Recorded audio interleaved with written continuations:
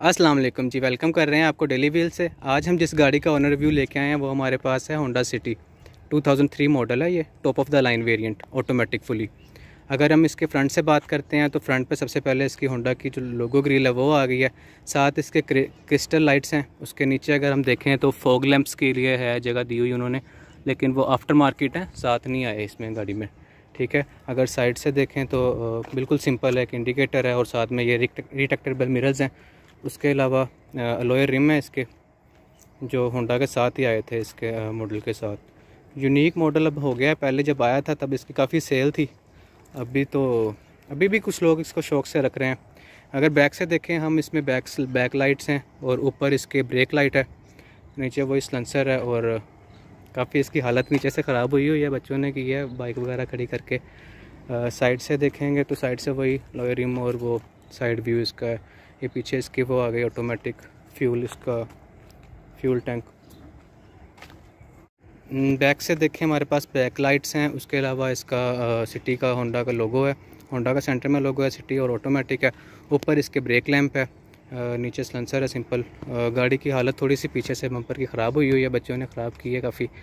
उसके अलावा इसका साइड से वही फ्यूल टैंक इसका आ गया और आगे वो जो इसका इंडिकेटर है। ठीक हो गया? इसको अंदर से बात करें तो अंदर इसमें मिरर्स के लिए बटन है ऑटोमेटिक मिरर है। उसके अलावा ये लॉक बटन इसका आ गया।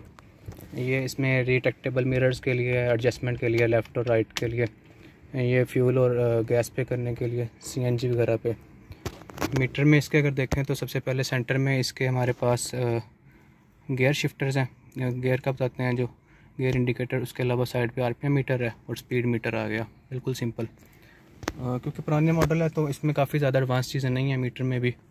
अगर ऑटोमेटिक ट्रांसमिशन है इसकी हैंड ब्रेक आ गई है, उसमें एसी है और टेप ही चल रही है। उसके अलावा ये इसका हमारे पास आ गया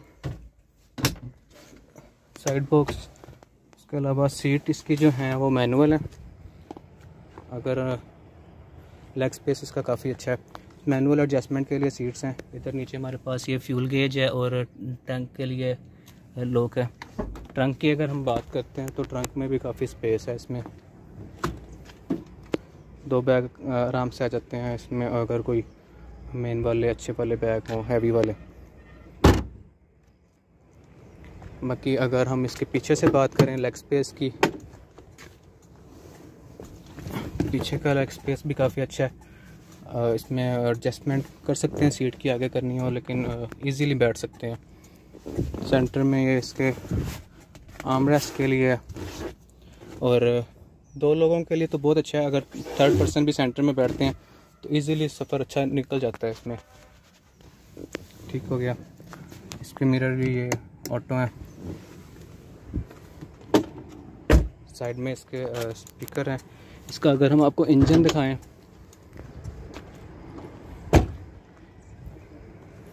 इंजन में इसके, ये होंडा का इंजन है थर्ड वन पॉइंट थ्री है, तेरह सौ सी सी इंजन इसका। इसके अलावा ये वेव इंजन है इसका। ठीक हो गया। बाकी ये बैटरी वगैरह के लिए है और ये फ्यूल वगैरह के लिए ऑयल ब्रेक्स वगैरह के लिए। अगर हम इसकी अगर राइड की बात करते हैं तो आपको राइड दिलाते हैं इसकी। ये इसका इंजन स्टार्ट हो गया। सबसे पहले इसकी हैंड ब्रेक चेक करेंगे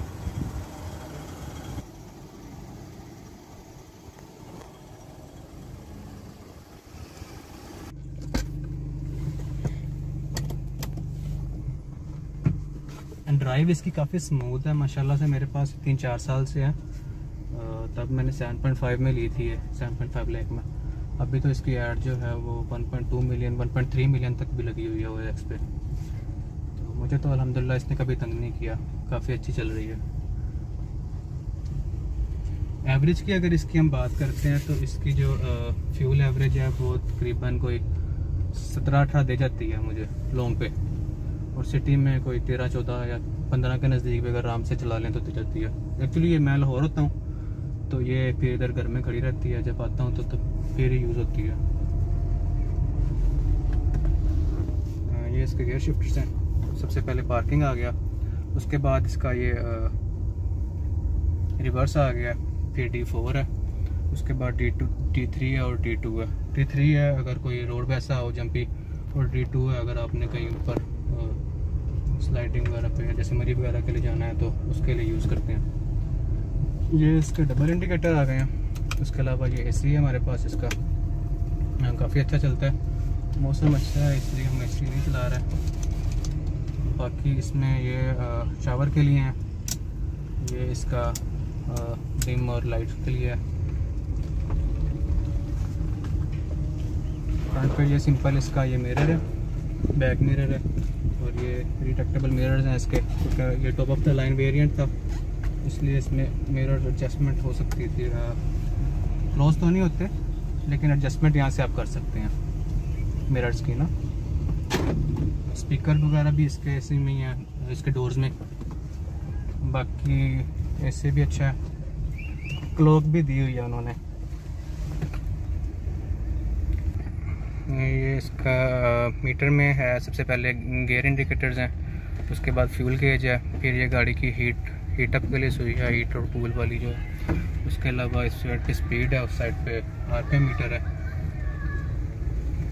बाकी हैंड ब्रेक इसकी नॉर्मल वाली है और ये सीट बेल्ट वगैरह हैं। इधर हैं, सर्दियों में तो ठीक रह जाती हैं, गर्मियों में काफ़ी हीटअप हो जाती हैं। अगर गाड़ी में बाहर खड़ी करते होता हूँ ना कभी धूप वगैरह में तो काफ़ी हीट हो जाती है इसमें। बाकी इसने सच कोई है नहीं बताने वाला। तब का ये top of the line variant था होंडा सिटी का 2003 में था ऑटोमेटिक था, इस मिरर जो हैं वो ऑटोमेटिक थे। साइड मिरर वो ऑटोमेटिक थे।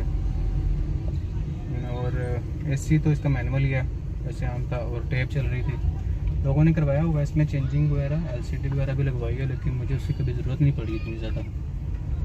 फैमिली के लिए रखी हुई है, बस नॉर्मल यूज़ के लिए है। ये बाकी कई दूसरी रखी हुई हैं गाड़ियाँ। ये थी जी हमारा आज का गाड़ी का रिव्यू होंडा सिटी का।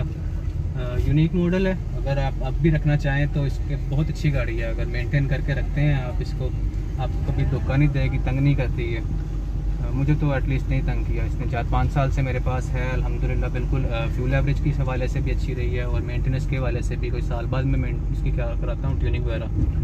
तो नहीं तंग किया अलहमदिल्ला बाकी ये था हमारा आज का रिव्यू होंडा सिटी का। और काइंडली हमारे चैनल को सब्सक्राइब करें लाइक करें वीडियो को और बेल आइकन पर क्लिक करें ताकि ऐसी मज़ीद अच्छी अच्छी वीडियोज़ आपको मिलती रहें। ओके जी, अल्लाह हाफिज़।